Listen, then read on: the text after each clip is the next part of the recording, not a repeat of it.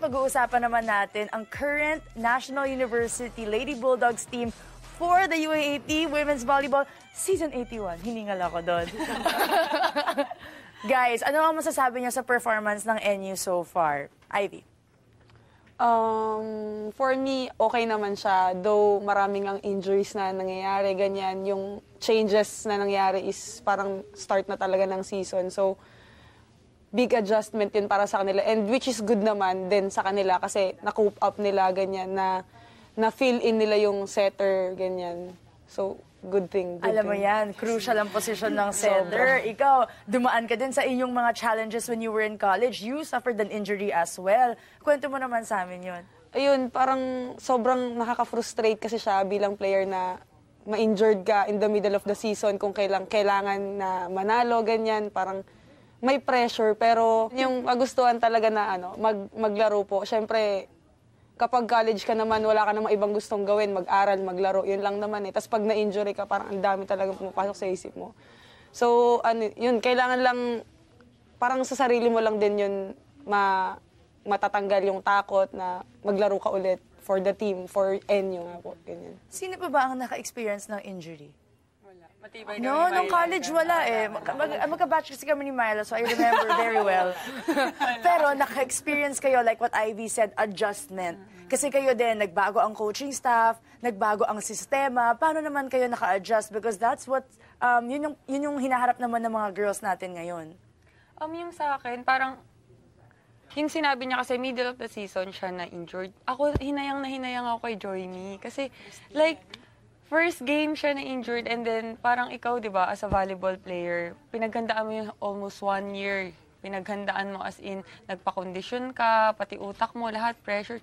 Tapos, ah, isang game lang, I mean, di pa, two sets ba? Second sets yun? Two sets. Second, Se- second set yata. Oh, second set yun. And then, na-injured na siya. And then, parang wala na siya sa season na yun, di ba? Parang napakahirap tanggapin. Pero, yun nga, um, may time kasi na nakausap ko siya. And then, parang sabi ko sa kanya, siguro, may plan talaga si God. Baka masyado mong kinikerry yung team mo. Nakakalimutan mo na yung ibang, oo, ibang part ng life mo, ganyan, like study and ano. So, sabi ko naman sa kanya, um, pagbalik mo, siguro mas, mas stronger na joy mo yung makikita namin. Siyempre, as an ate, yun yung iniisip mo talaga, yung mga rookies, yung mga bata. Eh, ngayon, ang dami-daming rookies ang NU, kaya lahat ng mga volleyball fans, bilib na bilib talaga sa performance nila. Ikaw, Myla, sino ang rookie na talagang nakita mo na, uy, next Myla Pablo to? Well, sa nakikita ko talaga sa NU si Robles. Robles, si Ivy Laxina. Kahit isipin mo talaga si Robles na napakalit na, ba- na bata lang. Pero ang taas yan tumalon. Hindi niya iniisip na rookie lang siya. Kaya niya makipagsabayan sa mga mas nakakaangat sa kanya, sa mga senior niya. And then, ano siya, ano eh, maglaro, puso siya maglaro eh. Uh, kayang dalhin yung sarili, kayang dalhin yung team niya na manalo. Ginagawa niya yung best niya para maipanalo yung team niya and para sa school school din na, nila. Nila, namin pala. Namin. For NU, for, for, for a former NU Lady Bulldog, di ba, nakaka-proud nga naman talaga makita sila. Pero nung time nyo naman, as a rookie, nung panahon mo, Kai, ano ang pinaka-favorite memory mo or pinaka-unforgettable memory mo when you were a rookie? Nung rookie ako. Oo, five Actually, lang. last year five- lang. Oo, Last year lang talaga. Galing mo dyan. Oo, five years ago, um, tandang-tanda ako pa. Hindi, um, nung time ko kasi, ibang-iba yung NU. As in, hindi pa kasi siya nabibili nung, um, or hindi pa siya minamanage ng mga C. So ako naranasan ko yung talagang parang akala magsasarado na yung school. Yung gym namin, as in yung tabla, parang pag, pag na-slide ka, lahat ng ano, tusok na dito sa kata.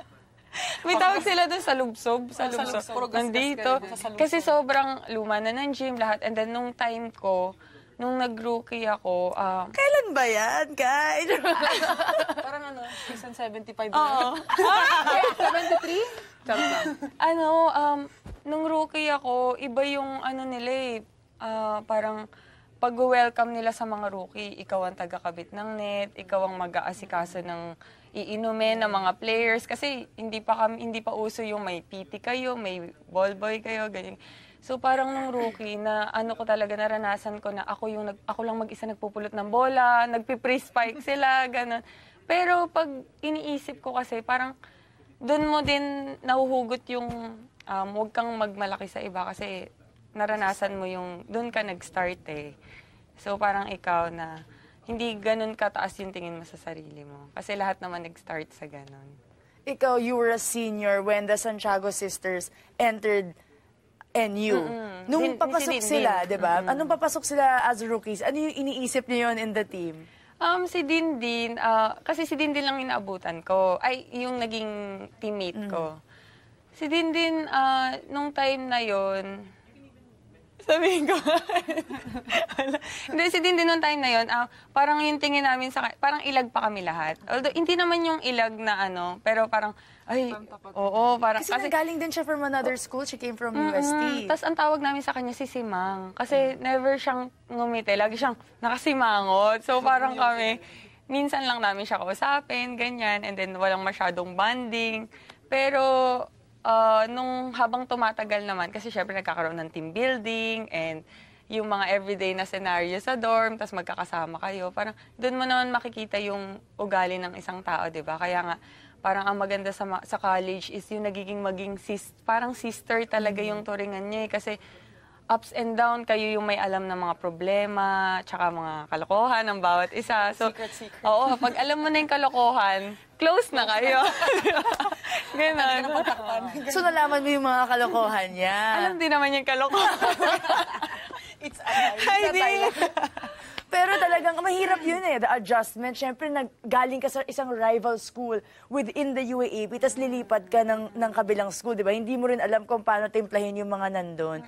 Ikaw, Myla, naabutan nyo si Jaja, also si Ivy. Paano naman yung pag-welcome nyo sa kanya as a rookie? Di naman, di naman kami, di naman kami nahirapan kay Jaja. Kasi syempre, nung pumunta naman siya sa high school, parang hindi na, nakakasama-kasama na rin namin. Hindi na mahirap, parang hindi na nahirapan mag-adjust kasi parang nagkikita naman kami sa isang gym, ganyan, may hi, hello, ate, ganyan, may bond ng konti. So, So, nakidorm siya sa atin. mm, ate, Tsaka nakidorm. nandun na yung ate niya, so I'm sure naging close na lahat. So, mas naging Ma- hindi, ma- hindi mahirap, mahirap i-gel yung sarili sa kanya and siya sa amin din. wala akong kilala sa ibang school.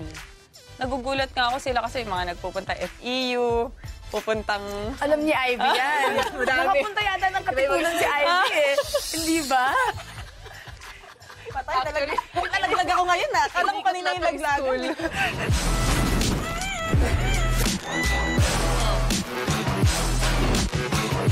Thank you for watching The Score. Don't forget to subscribe to ABS-CBN Sports YouTube channel to be updated with the latest games.